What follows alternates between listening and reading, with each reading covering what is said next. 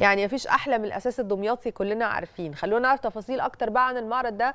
معانا عبر الهاتف دلوقتي الأستاذ محمد مسلم المدير التنفيذي لنقابة صناع الأساس بدمياط. صباح الفل عليك يا فندم واهلا بيك. صباح الفل أستاذ بسمة. صباح الفل أستاذ مصطفى.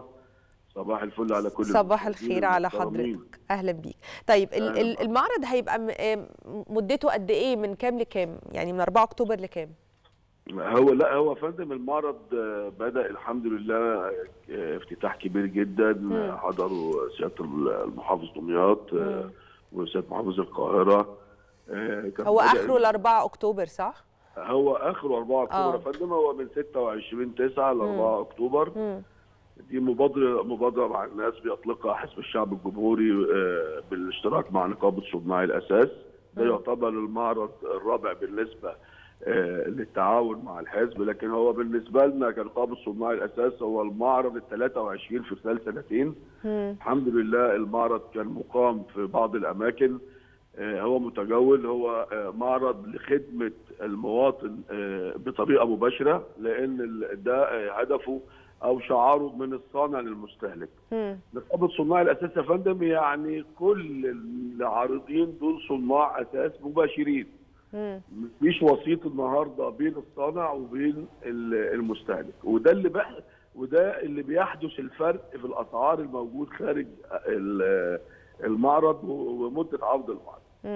الحمد لله الحمد لله ال- النهارده المعرض من خلال سنتين موجود في القاهرة نال ثقة كل المواطنين نال آه، آه، آه، الثقة دي مش مش بال- بالسهل حضرتك عارفه النهارده في عارضين كتير في أماكن كتير النهارده المواطن بقى عنده آه، حلول كتير في إيجاد ال- الم- المنتج الأساس من خلال بعض الشركات اللي موجودة وبعض الكيانات اللي موجودة فعشان يبقى أنا موجود في القاهرة في ظل هذا هذا الصراع الكبير.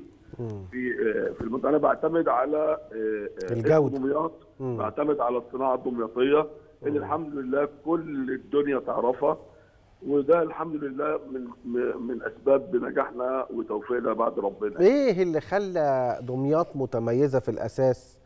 آه، آه، وخلاها يعني مش مش بس في مصر. أنا يعني لما سافرت أوروبا عرفت إن اسم دمياط ده مهم جدا في الموضوع.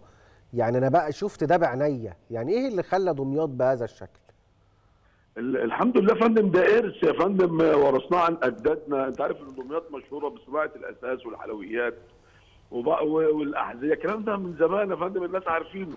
لكن الأساس بالذات الحمد لله إحنا نبدع فيه لأن المنتج دايما اللي بيجي من آه، من من بره أو الناس بتشوفه بيبقى دايما فيه متداخلات أو آه، صناعية.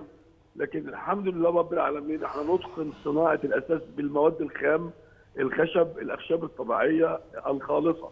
وده اللي بيميزنا زائد حضرتك عارف ال hand made. القيمه ال- ال- ال- التنوع في الموديلات. ال- ده اللي بيخلي دايما دمياط متفرده وبيخلي دايما دمياط آه، يعني على صحيح. قائمة المصنعين آه، أو صناعة الأثاث على مش في مصر بس على مستوى الشرق الأوسط والعالم كله. صحيح صحيح. يعني دمياط هت- هتفضل دايما قال على صناعة الأساس بنشكرك يا أستاذ محمد. أستاذ محمد مسلم المدير التنفيذي لنقابة صناع الأثاث وروحوا زوروا المعرض موجود في أرض المعارض في مدينة نصر.